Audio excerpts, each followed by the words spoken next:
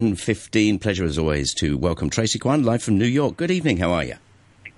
Good morning. How are you? Great, thanks. Looking for. I love it when you like talking about films and books, and of course we got the New York Film Festival. That must be awesome. Before we get started on the festival, I just want you guys to know that I posted on the Morning Brew Facebook page a really interesting piece about Hong Kong and how the relationship between cinema and the umbrella movement. Uh, we we are kind of with you guys in spirit, and people have all these different perspectives. So there's a film scholar who specializes in Chinese cinema who's like explained to New York readers.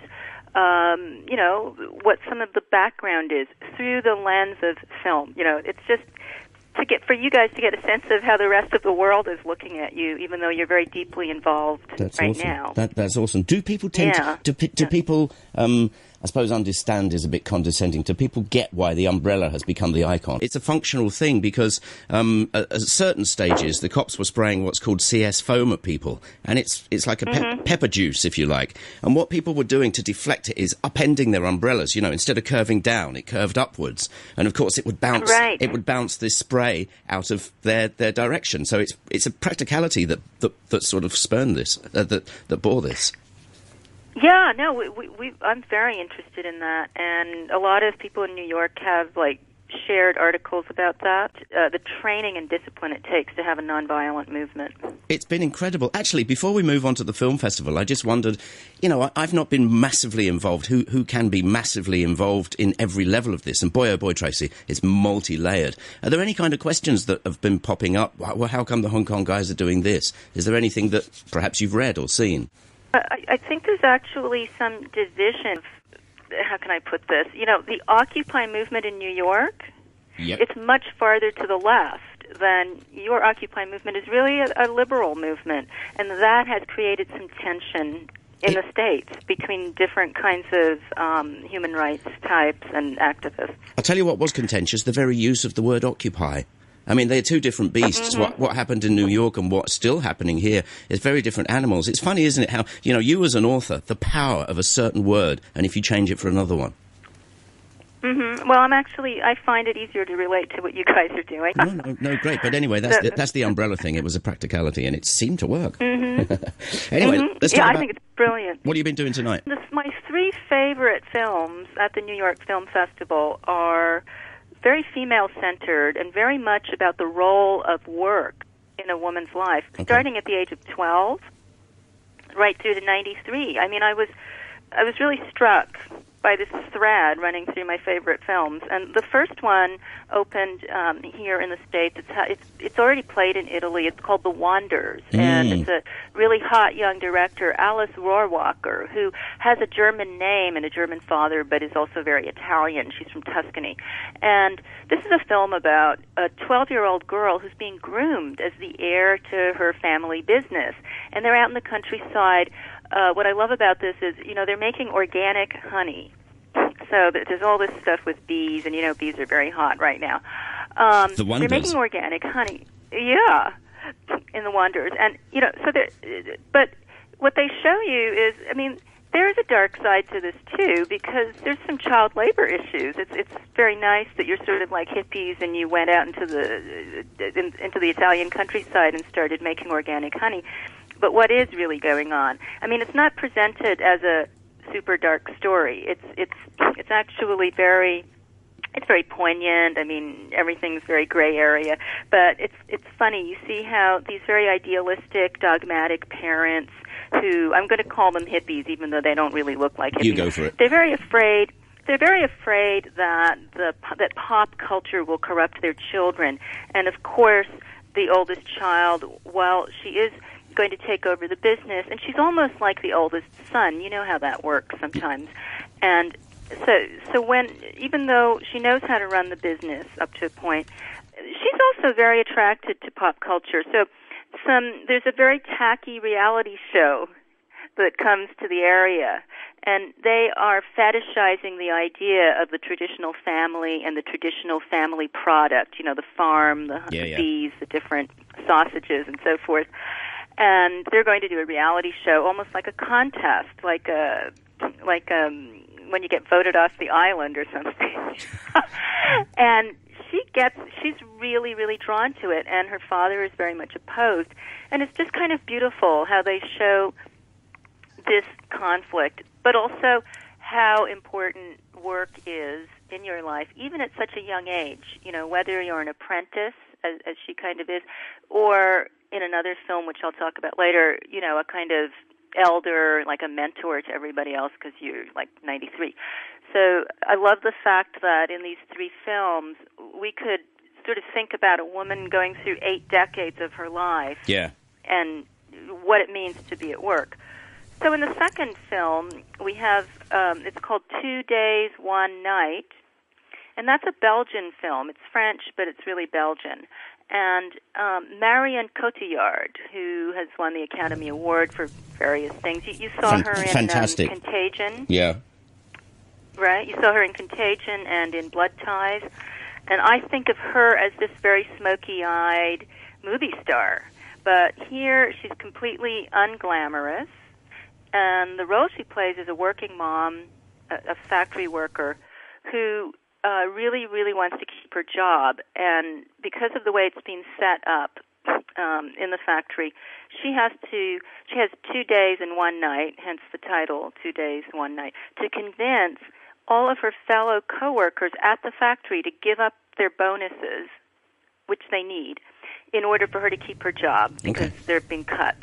It's, you're really like biting your nails because you want her to be able to keep that job. And Well, that, um, well, that's fantastic for starters because you, you believe you, you you're really in there as a viewer. You're with her. You are. I mean, you know, it's, it's obviously it's not a glamorous kind of a story, but it's very, very like it's intense. And I mean, for example, and I think that some of the people in the recent protests could relate to these issues. She's afraid that the the whole family is afraid that they will have to move back into social housing if she can't keep her job.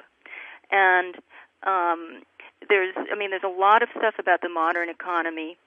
And also, the interesting thing, similar to the organic honey in the previous film, is this is a solar panel factory. so, I mean, there are some bad management policies and tactics being used in this very ecologically correct factory. I mean, that they're making products that a lot of people buy because it Yeah. makes them feel good about doing the good environmental thing. This is actually really excellent because a lot of a lot of times we hear about fair trade stuff, we hear about ecologically, organically sound stuff, and, and there have been news stories to this effect. So it makes sense that somebody's going to do this kind of movie. what, what are the conditions under which these things are made? And are mm-hmm. we buying these things and using these things just to feel good? I mean, wh- how much of it is just, you know, an emotional trip that we're on, and how much of it is really ethical? Often thought that. You know, when people, when, when you, You get, have. when, when particularly you get the bigger health brands and they're like, oh, look at us, we're doing our bit for humanity, you do sometimes wonder, don't you? I mean, you know, and maybe it's all a little bit true, but it's a serious issue. And another thing that comes up in this in two days, one night, um, is they show how diverse Belgium is because just she has to go and talk to all the different guys and girls that she works with at the factory at the plant. So you see all the different ethnic groups that are working in a place like that. Yeah. And people from different levels of education. I mean, nobody there is rich, but some are poor, poor, some are more middle class, and also the relationship again for working women.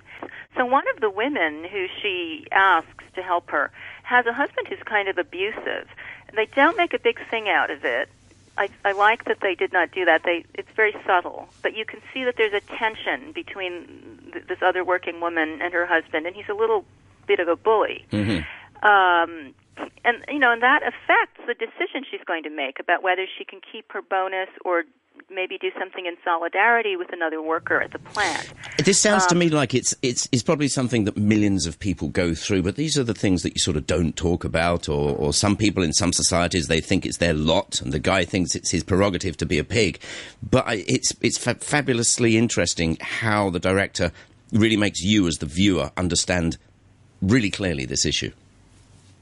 Yeah, and interesting to see that someone who has such a glamorous image, Marianne Cotillard, you know, wanted she wanted very much to be in this film and to work with these guys, the uh, the Dardenne brothers, who are kind of famous for doing this kind of a, a story, um, very realistic camera work, and you know, dealing with more social issues and stuff like that. So, I, I think a lot of uh, glam girls, kind of underneath it all, want to do something like this from you know from Yeah. time to time. Well, here's an interesting thing for you. I don't know much about the New York Film Festival. I'm, I'm assuming there's like a working theme or a flavour to each year, and you, you know, you're very much up on sex workers' rights and female rights and all that kind of stuff. Is that what drew you to this, or is it just because you're a film fan?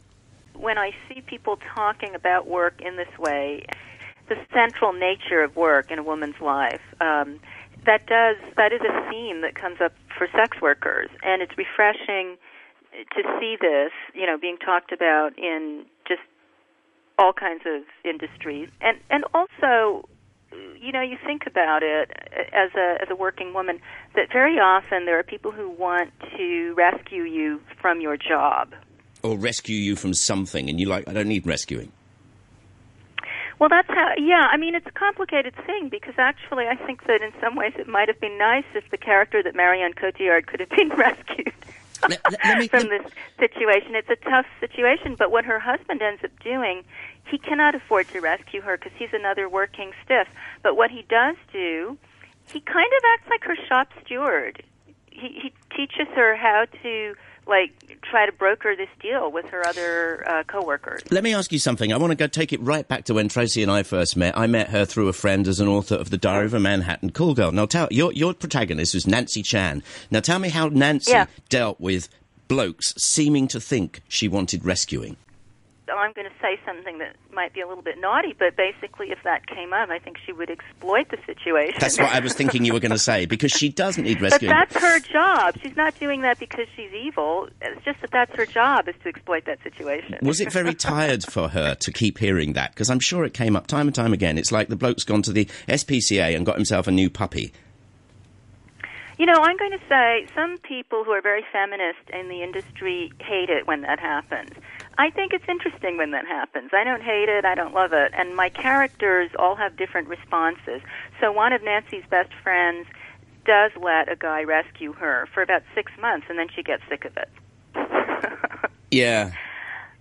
You It's- know, it's, it's- okay to try it. I mean, we don't have to be, you know, so liberated all the time. We can let guys take care of us sometimes. Well, fair enough. I mean, we, we all eh, we all need it a little bit, but the point is, um, I just I just this is so common. You hear about it in this part of the world. Very different to you know the scene Oh, yeah. in America. But I wonder what it is in men, what the chemistry is in men, apart from the obvious stuff that makes you want to. I can take you away from all of this, and she's like, get lost. I like my work. Well, but I no, but I think it is a real thing. I think that that a lot of men do want to do that, and it may even be biological. I'm not sure. It's something Now- like that. Uh, we're out of time, Tracy, but before we go, just tell us everything we need to see, and I'm sure you'll put it on our Morning Brew Facebook well, the page. third film, the third film that you do need to see when it comes to Hong Kong is Iris, and we, we're out of time. But that's about uh, a 93-year-old style maven who is a total icon and who has worked with some Asian uh, designer, Okay. and it's um, just an amazing, amazing story about somebody who loves her work, and that's what I noticed was. Finally, you know, she's 93. She feels lucky to be working. It's not the kind of struggle that it is for a young working mother. Well, let's at least carry on with a little bit of films next week and maybe look at that one. In the meantime, Tracy, always a pleasure to talk to you. Have a lovely week.